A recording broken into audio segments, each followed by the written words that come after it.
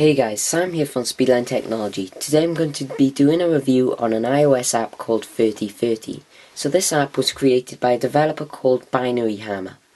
Um, this app is a very unpopular app, but it is a very useful one indeed. So I'm going to be showing you around this app today.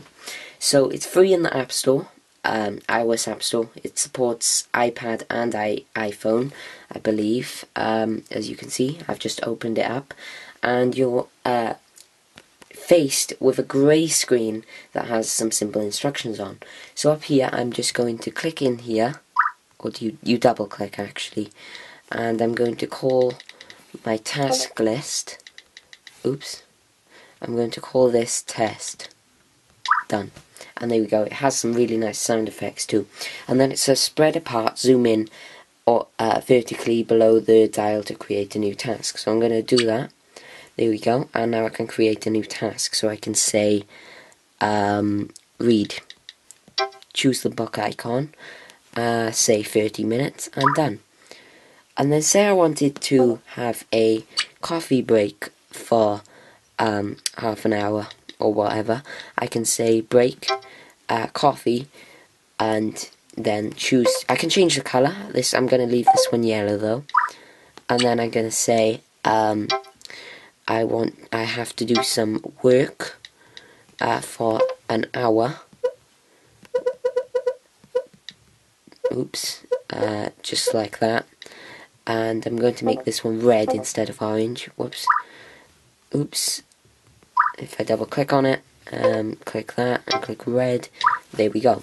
So that's my order. I've put them in. Um, if I just move this divider down out of the way because that means they've been done they'll go underneath there. You'll see what I mean later though. Um, so now I've got read for 30 minutes then have a break for 30 minutes then work for two, um, an hour. But say I wanted to delete one of these I can just swipe it off the screen uh, but you have to make sure you swipe it to the right. If you swipe it to the left it will just go underneath the divider. Whoops. Like that. Um, and then if I move this one, there we go. Uh, so I'm just going to re um, add my break one back on there. So you zoom in, uh, break, choose the coffee icon. There are a load of icons as you can see, loads of nice ones. There's two pages. Uh, the first one is just general stuff. The second one tends to be uh, holidays. So I'm going to set this one, I think it was yellow. Again, there we go and if I drag that um, if I hold down on the divider and bring it down there we go. Uh, I've actually clicked the wrong icon on this one. Yeah so you want to make sure this divider is down the bottom uh, most of the time unless it's already been completed. So then you can lock this into place. There we go. Uh, that these are locked now so um, I can't edit them. Oh uh, thought, I actually did think this uh, lock would lock them in place. Obviously it doesn't. I'll have to look into what that lock does, because I've never really used the lock before. Um, so let's start this. So if we click the play button, it starts. And as you can see, it's gone green, because that's the colour of my reading event. And now a couple more things have appeared and the countdown. So, um, you can choose done or delete or move to the bottom or whatever you want to do. So what I'm going to do is I'm going to just make it go a little bit quicker so you can hear what happens uh, when it gets to the end. So if we just wait 7 seconds.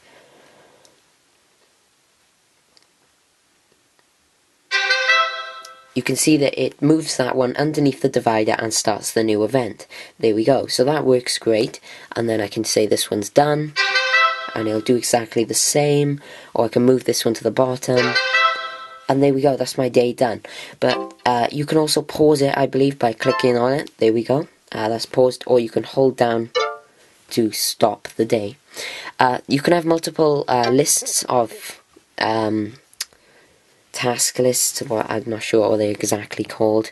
Uh, yeah. There we go. And they say you can tap with three fingers to copy which, uh, there we go. I managed to create two. And then I can edit this one or whatever. But I'm going to get one, rid of one of these. Uh, oh, got to swipe a different one of you. Yeah, there we go. not the one you're on, it doesn't work that way. So I'm just going to show you some of the settings.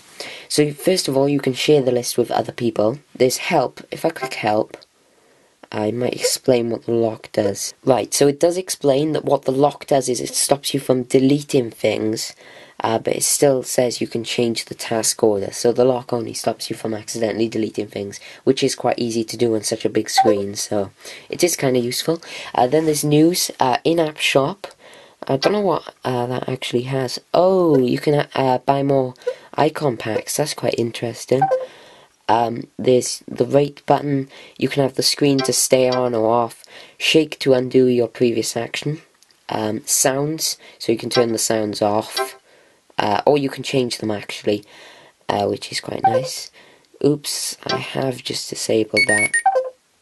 There we go. I just put that back on. Um, you can choose to have notifications on or off. I tend to keep that on. It has iCloud backup. Uh, you can stop it from showing the time or the duration, and you can also have it so it auto pauses after every task, so you can choose the next one yourself or whatever. And you can have it loop, so if you have like a, a ongoing continuous task, let's say you had it for the 24 hours, you can have that um, loop automatically, which is pretty useful. I did have one at one point. It took a long time to configure though, and it was annoying because I didn't stick to it. But yeah, this app is great. Uh, whoops, that was supposed to exit the app. There we go. Uh, yeah, so this app is great. Um, you can get it at the App Store. It's free. Uh, it's called 30 slash 30.